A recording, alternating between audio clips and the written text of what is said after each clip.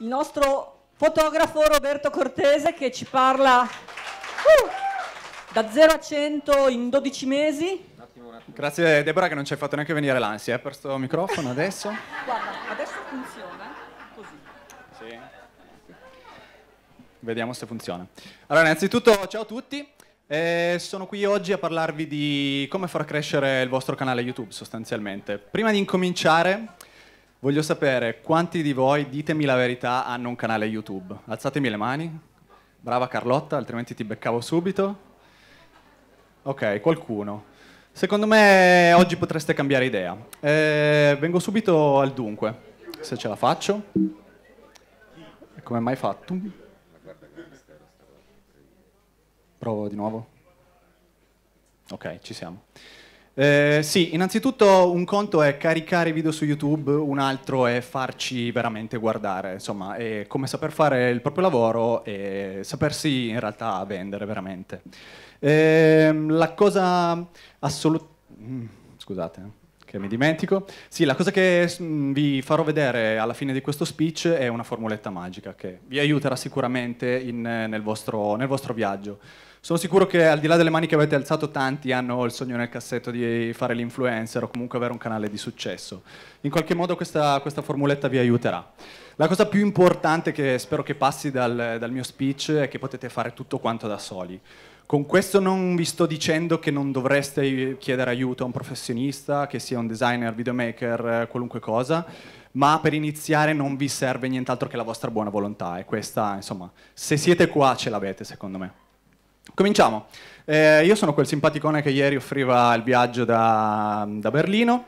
Eh, in realtà, stranamente, ho scoperto che c'è qualcun altro qua che abita a Berlino. Eh, ah, lei sì, ciao. Dopo ci prendiamo un caffè.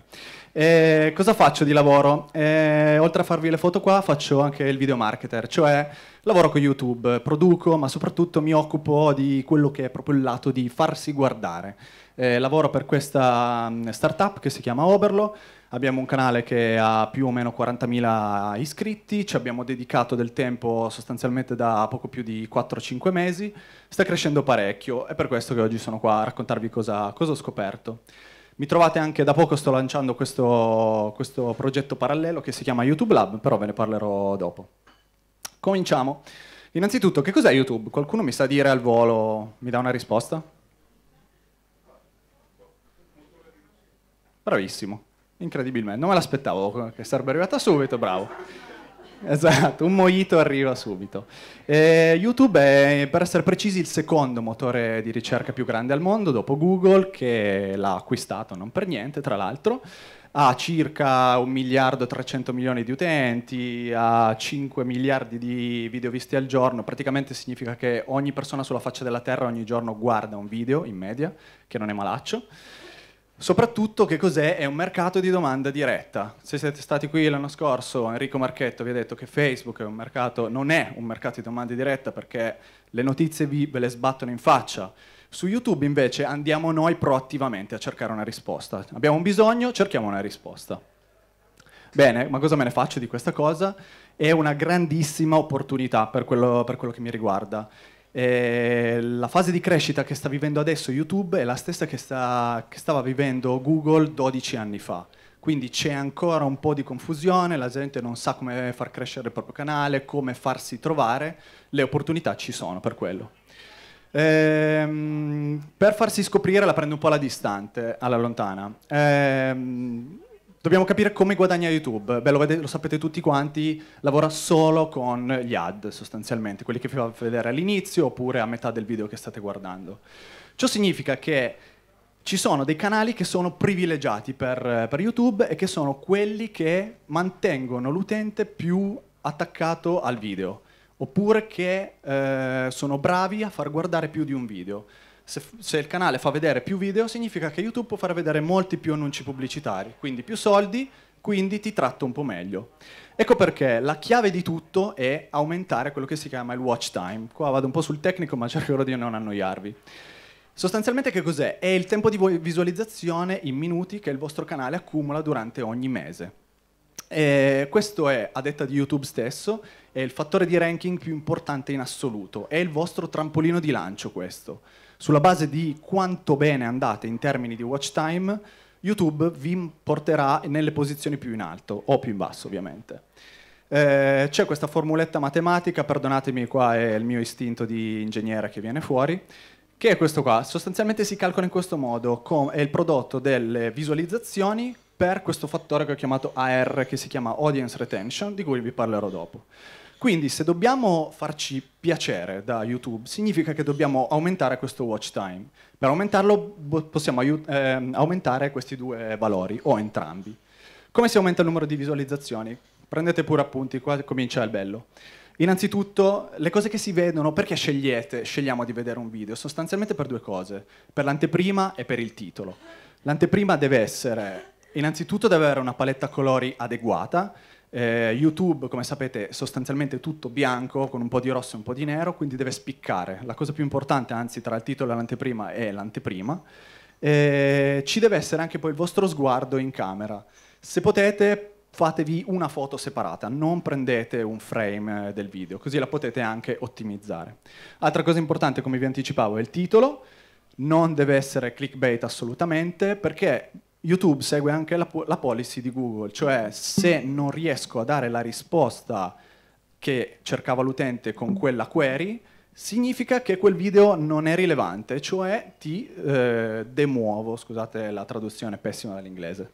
Ehm, deve essere anche riassuntivo, perché quando facciamo la ricerca vogliamo capire subito se quello è il video che fa per noi oppure no, e saltare oltre. In pratica ho fatto una breve ricerca per email marketing e questo è quello che viene fuori. Come vedete la prima e la terza anteprima sostanzialmente dicono tutto quello che, che ci serve, soprattutto questa. Cercato email marketing e lei ti dice come entrare facilmente nel mondo dell'email.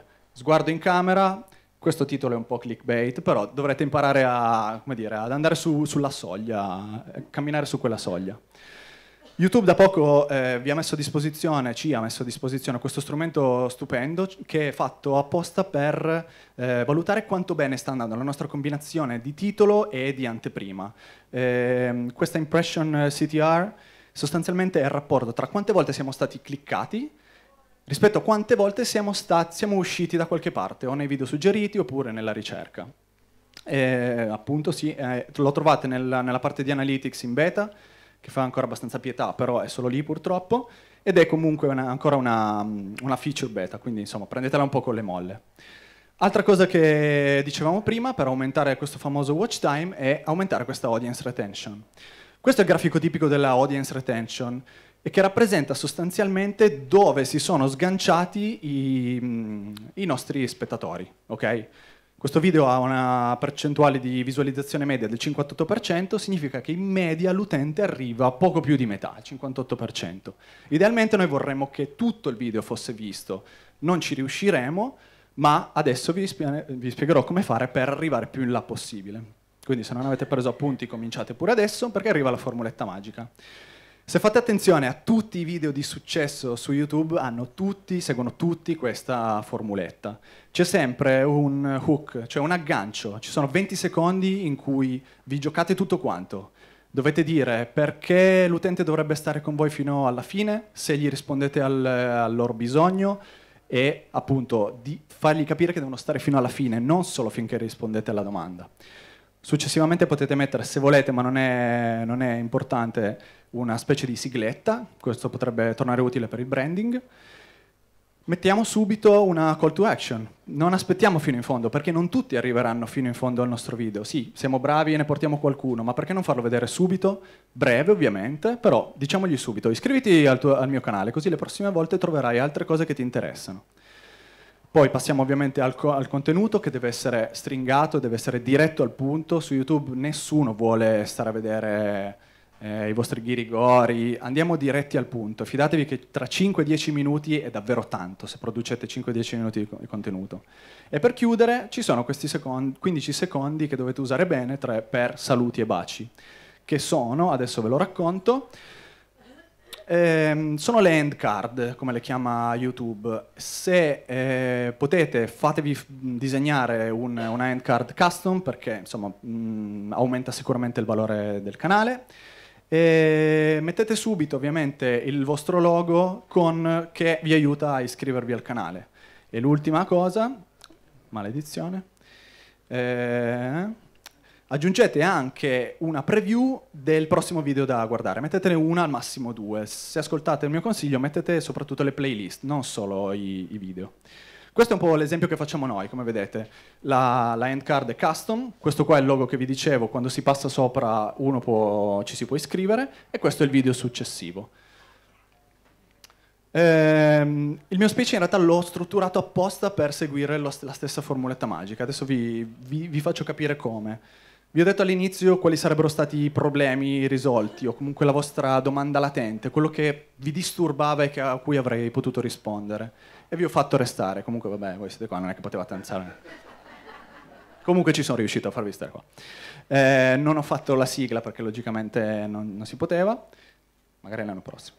Eh, vi ho detto dove mi potete trovare sul mio... cioè vi ho fatto una call to action subito, poi vi ho dato ovviamente una risposta, niente fuffa come sempre, e i saluti baci vabbè li faccio tra, tra pochissimo.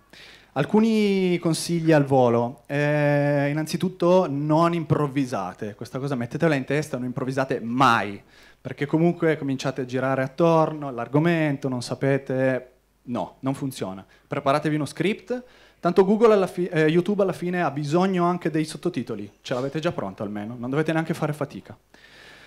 Microfono, eh, manco a dirlo come diceva Deborah. Eh, usate un gobbo, esistono questi vetri semi-traslucidi, una roba del genere, non so il termine preciso, vi consentono di guardare in camera e allo stesso momento leggere, sono fantastici, costano una stupidaggine. E poi software, qua so già che si drizzeranno i capelli agli amici videomaker, iMovie va benissimo, qualunque software per cominciare. Questa in realtà è la cosa più importante di tutte. Vi troverete, comincerete, i vostri video faranno pietà, sicuramente. L'audio farà schifo, questo non andrà bene, quell'altro non andrà bene, non importa. La cosa importante è che abbia- abbiate sempre, sempre voglia di sbagliare, perché da quegli errori traete- trarrete i migliori insegnamenti. Con questo in realtà io ho finito e se avete domande.